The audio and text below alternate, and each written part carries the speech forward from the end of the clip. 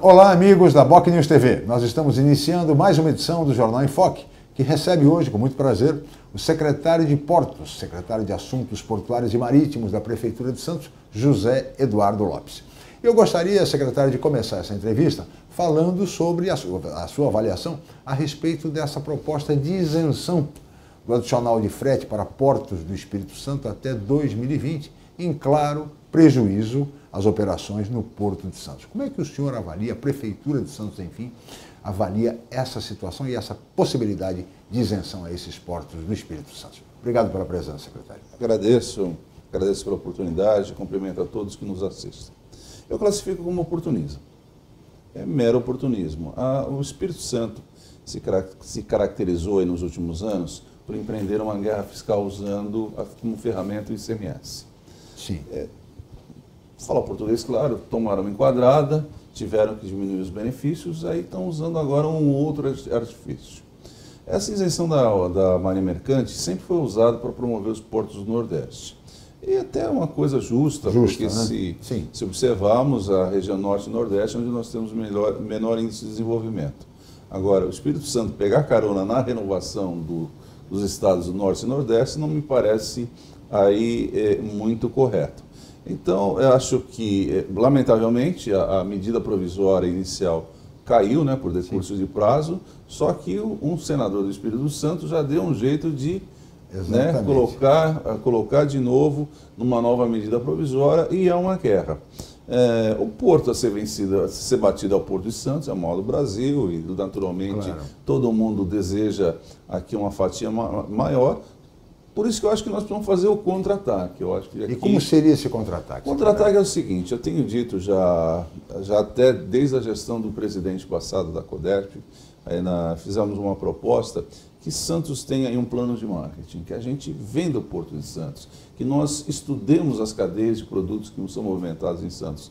Lamentavelmente, nós não conhecemos as cadeias. Eu digo nós é de uma maneira Sim. geral. Nós não conhecemos, nós não conhecemos as nossas forças, as nossas debilidades, nós não conhecemos as cargas que seriam é, originalmente, eu digo assim, de maneira natural, destinadas a Santos, que estão sendo movimentados em outros portos. Nós não sabemos por quê. Então, eu acho que nós precisamos ter aí uma inteligência de marketing, um plano de marketing, uma ação de marketing para vender o Porto Santos. O Porto Santos é muito mal falado. Então nós temos que reverter isso. E eu acho que o Porto Santos, pelas características que tem, é, é imbatível. Então nós temos que, que ver aquilo que necessitaria de ajustes e temos que fazer esse plano de marketing. E do contrário, estar preparado, porque é isso, o ataque será sempre, será sempre em, relação em relação ao Porto de Santos. Pois é. Agora, o senhor, o senhor uh, na sua intervenção, o senhor se referiu ao ex-presidente da CODESP, a CODESP que recentemente teve a sua direção alterada, assim como a própria Secretaria Especial de Portos, que na reforma promovida pela presidente Dilma Rousseff, é, coube mais uma vez ao PMDB, o Porto e, consequentemente, a indicação do filho do senador Jader Barbalho como ministro, o ministro Helder Barbalho. Como é que a, a, o, o, meio portuário, a Prefeitura de Santos, enfim, e o senhor como especialista receberam essa mudança? No que, que isso contribui, afinal, se é que contribui para o desenvolvimento portuário? Olha, é, na relação aí ao ministro Helder, foi uma acomodação. Tiraram um aliado do, do ex-presidente Temer Sim. e deram então para uma outra, uma outra corrente, corrente partidária, do PMDB. do PMDB e acabaram acomodando. O ministro Helder tem como, como característica, ele é uma pessoa muito ativa. Sim. Obviamente ele não conhece de Porto, mas ele é uma pessoa muito ativa. Aliás, não é interessante que quase nenhum ministro de Porto conhece de Porto, secretário. É uma coisa espantosa no Brasil. É, mas a gente já se acostumou com isso, né? A gente já, já se acostumou com isso.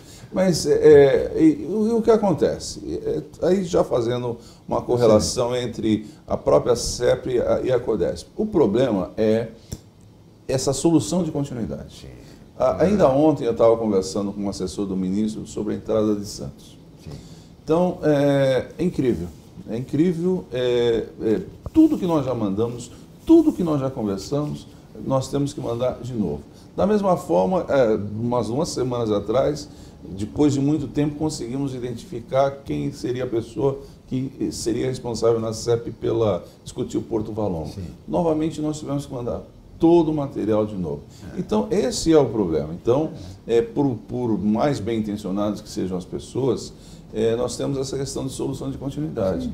Então, a, a, a, CEP para um pouco, a CODESP para um pouco, e até que a gente, então, retome... As pessoas e, entendam o funcionamento. No mínimo seis meses, né, secretário? No mínimo seis meses. E ainda na questão da CEP, até o ministro tem se esforçado bastante, ele tem vindo bastante. Tem vindo, é verdade. Tem trazido a equipe inteira. É então, eu, eu, eu acredito que alguns temas, assim, começam a, a ser familiares. Mas no restante é muito difícil, né? A gente vai falar lá, a gente fala lá de, de, de sei lá, de sabor, o pessoal fala sabor.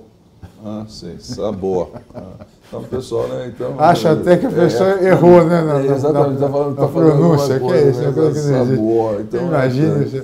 Tá mas olha, e a é. entrada, o senhor falou da entrada da cidade, e o projeto está pronto, né, secretário? Está tudo pronto. Apenas agora precisa de dinheiro do, da União. Né? O projeto está mais do que pronto, né? no que diz respeito à cidade, está prontíssimo. Então, licenciamento, aí as licitações, tá, Até a estão... contrapartida municipal já está é. garantida é, em dinheiro. Né? Infelizmente, né? através de um empréstimo. Como a gente Bom, tem dinheiro, né? a gente teve que pedir um empréstimo para poder executar as obras. Também da parte do governo do Estado, tá prontíssimo. É, o governo do Estado discute com a Ecovias aí valores e o de quanto seria a extensão do, do, do contrato.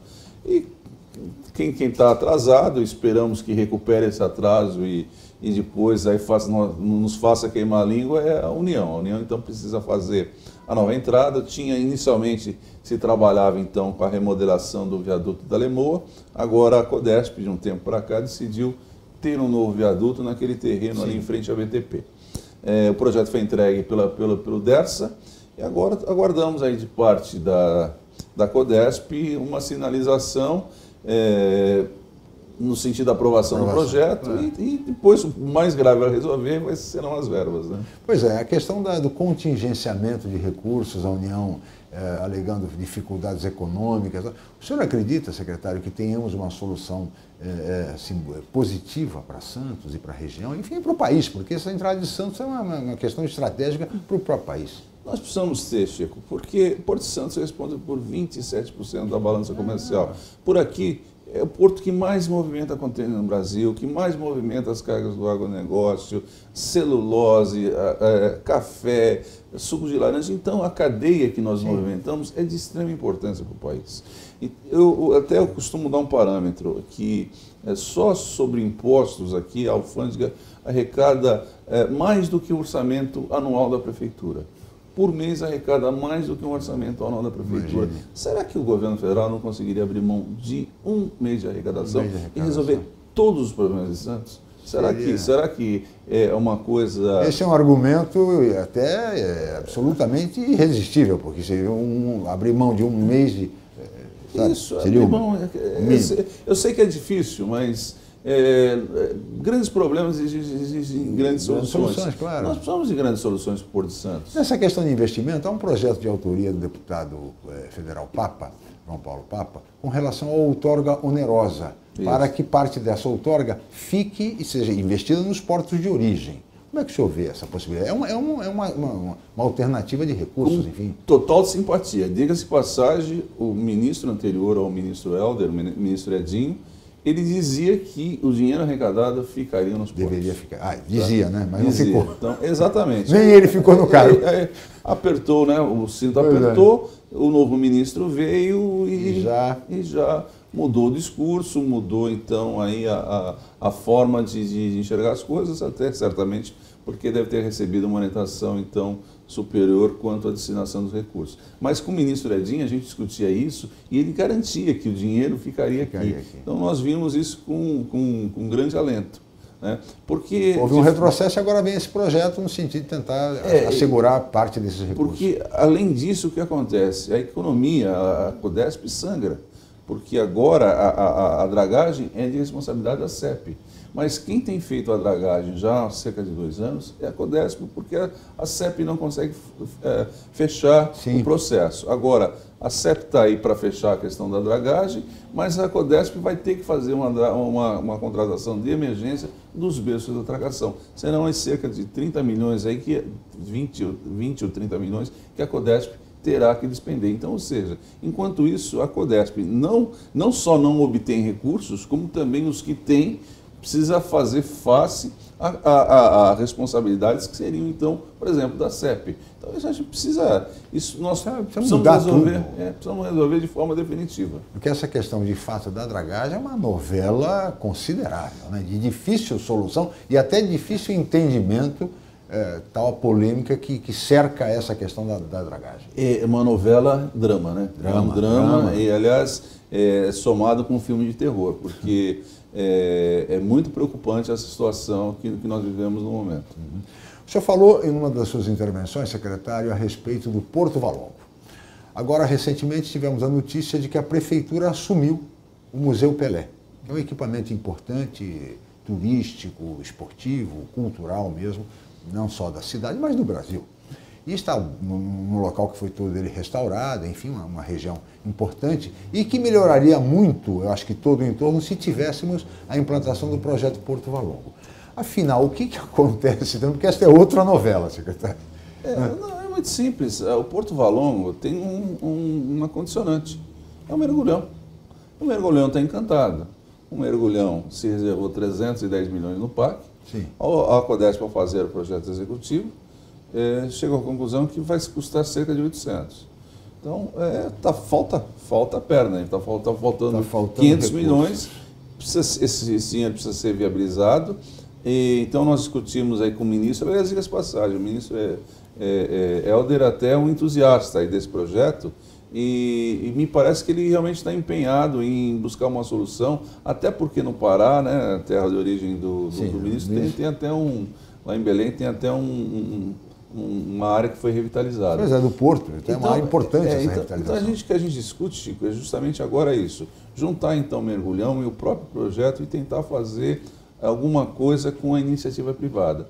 Só que, lamentavelmente, as grandes empreiteiras estão todas enroladas, é. falta dinheiro, né? falta é dinheiro. É e então a gente está tentando retomar, brigar, porque nós acreditamos muito nesse projeto, sabemos que é, é, esse projeto representa a redenção aí de diversas áreas ali que são lindeiras ali a, a, ao, ao, Porto Valongo. Vemos os exemplos que existem em outros países que tem um waterfront que traz ali toda toda uma, uma renovação né, de, um, de, uma, de uma grande área, é, isso dinamiza tudo. Então, nós continuamos brigando, mas a grande verdade é que nós temos um problema sério, que é o mergulhão.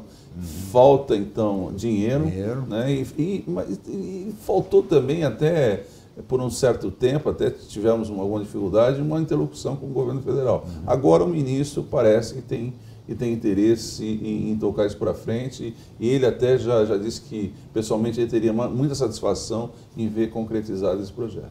É, tomara, vamos, vamos aguardar então essa, essa, disposição do ministro Helder Barbalho com relação ao Porto Valongo e principalmente com relação ao mergulhão. Falando em mergulhão, é, secretário, isso leva à questão do túnel e também da falta de recursos, do túnel Santos-Guarujá parece que também deu uma parada. É, é, por conta da crise, é falta de investimentos? O que está acontecendo?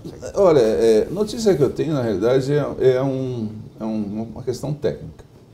É, Para que o financiamento seja aprovado para o submerso, é, o governo federal precisa autorizar o governo do estado a aumentar o seu índice de endividamento.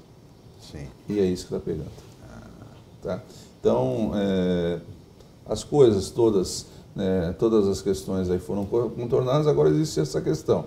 Então, o Estado de São Paulo teria que ter uma autorização para aumentar o seu índice de, desenvolvimento, de, de endividamento.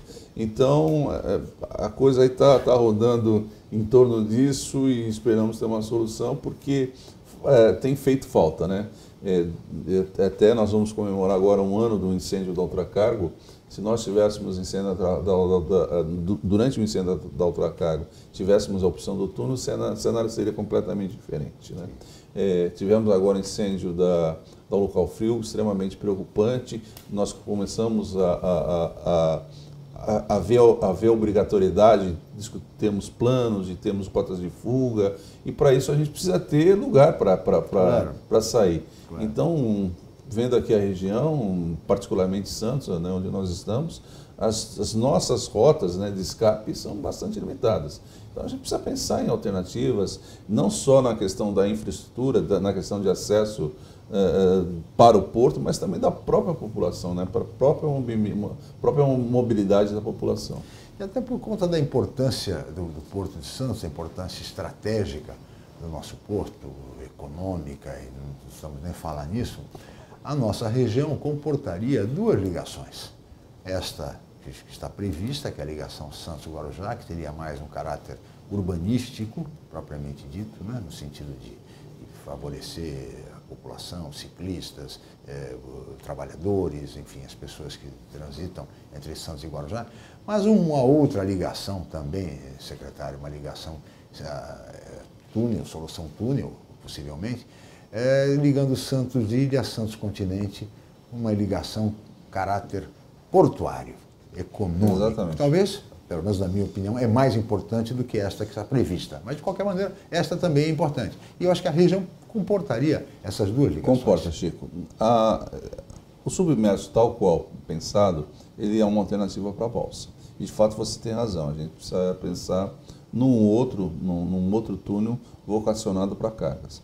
E isso está planejado, a, aquele grupo, o Grupo Bertim, tem aquela proposta de fazer uma ligação entre ali é, Suzano e Santos, saindo exatamente na área continental e tendo uma ligação, então, de lá até para mais é. direita, aqui mais ou menos na entrada da cidade, um túnel vocacionado, então, para carga, que seria, na realidade, uma continuidade da estrada. Notícia que nós temos sobre isso é de que eles fizeram uma manifestação de interesse, é, eles queriam fazer uma PPP, haveria uma contrapartida bastante vultuosa de parte do governo do Estado. O governo do Estado disse que nesse momento não seria possível. Então, eles estão fazendo uma, uma, uma, uma nova apresentação do projeto, pedindo dessa vez a, a que isso seja efetivado através de uma concessão. Se for uma concessão, então todo o custo ficaria por conta dos empreendedores. Então, a gente tem, tem falado com, com esse pessoal, eles estão fazendo a conversão da, daquela forma para nova. Vamos ver, né, que tomara que eles tenham, sejam bem sucedidos claro. e a gente tenha uma, uma, nova ligação.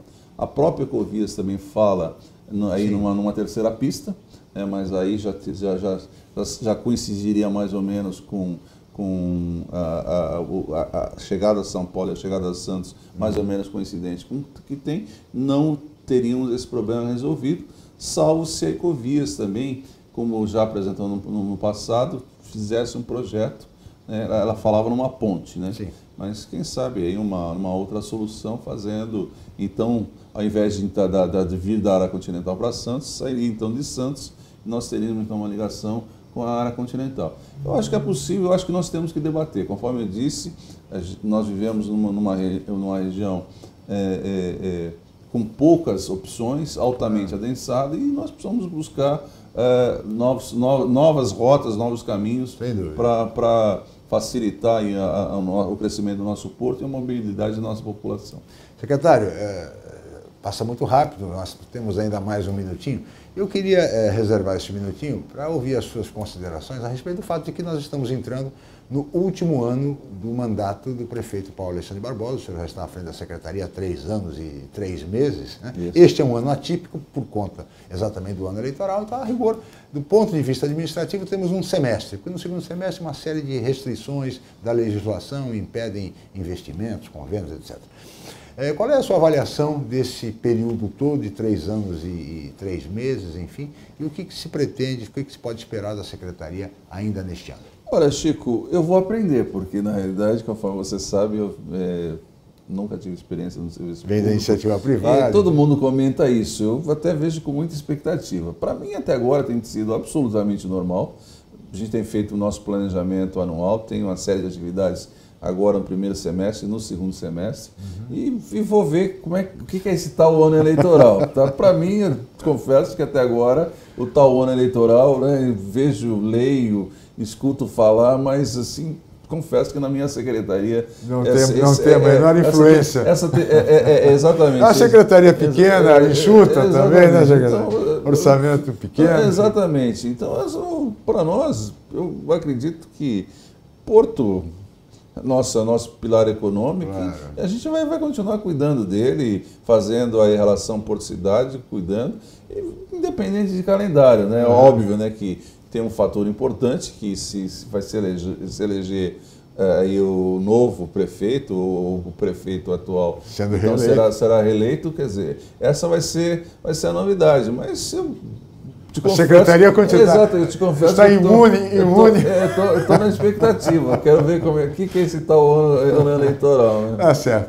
Secretário, nós teríamos mais a conversar, evidente, mas a pauta é extensíssima. Senhor sabe, nós somos limitados pelo tempo, estamos chegando ao final. Eu gostaria de agradecer a sua presença pela primeira vez aqui na nova plataforma digital da Boc News TV, mas agradecer a sua presença mais uma vez aqui no Jornal em Foco. Muito obrigado. Chico, é sempre um prazer estar aqui contigo. Eu me sinto absolutamente à vontade. É como se eu estivesse batendo papo com um velho amigo, que de fato eu até já, já te considero, não um velho amigo, né, né, é, é, que até a gente se conhece assim, assim, há, há pouco tempo, mas é, eu me sinto realmente à vontade e agradeço uma vez mais pela oportunidade de estar falando e estar conversando, expondo aqui essas questões ligadas à nossa secretaria. Muito bem, os nossos amigos internautas da Boc News TV. E este foi o secretário de Assuntos Portuários e Marítimos da Prefeitura de Santos, José Eduardo Lopes, que participou do Jornal em Foque. Agradeço mais uma vez a sua presença, agradeço a audiência, a atenção de todos os amigos internautas aqui do Jornal em Foque.